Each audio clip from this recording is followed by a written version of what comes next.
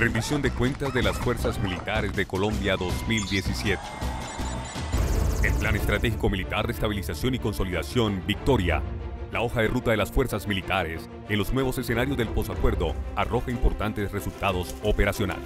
12.887 criminales fueron neutralizados, destacándose la muerte en desarrollo de operaciones militares de 31 integrantes del ELN. De los GAUS residuales, fueron dados de bajas 9 y 69 fueron capturados. 28 integrantes de los grupos armados organizados murieron, cinco de ellos cabecillas de nivel nacional. Asimismo, fueron capturados 440 miembros del ELN, 69 GAUS residuales, 1.748 integrantes de los grupos armados organizados, Clan del Golfo, Puntilleros y Pelusa. 334 de los grupos delincuenciales organizados, 818 narcotraficantes y 9.013 delincuentes comunes para un total de 11.913 capturas. Gracias a la presión ejercida por las tropas se dieron 525 presentaciones de miembros de los GAO residuales, 283 del ELN y el sometimiento de 94 integrantes de grupos armados y delincuenciales organizados y de delincuencia común. A estas cifras se suman la incautación de 1.434 armas cortas y largas, más de 300.000 cartuchos de diferentes calibres y cerca de 30 toneladas de explosivos.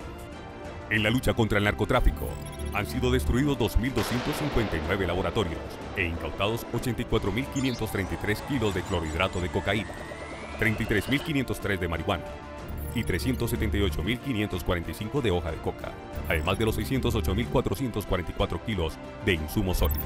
Han sido rescatadas 19 personas y capturados 1.008 delincuentes en el combate a la extorsión y el secuestro. En la guerra contra la explotación ilícita de yacimientos mineros, en coordinación con la Policía Nacional, se han realizado 292 operaciones en las que capturaron a 796 personas e incautaron 447 máquinas. Las fuerzas militares han realizado 436 jornadas de apoyo al desarrollo en beneficio de 489.725 personas, así como cuatro binacionales con Brasil, Ecuador y Panamá, que apoyaron a cerca de 30.000 personas. Para estar aún más cerca de las comunidades más apartadas, se creó el Sistema Nacional de Reacción Inmediata para el avance de la estabilización siria, que cuenta con dos equipos de intervención en las zonas más críticas del país. Ese permanente interés y trabajo por la seguridad y el bienestar de todos los colombianos mantienen a las fuerzas militares en un sitio privilegiado de sus afectos, pues según la última encuesta de Inbamer, tiene la mayor favorabilidad con un 70%.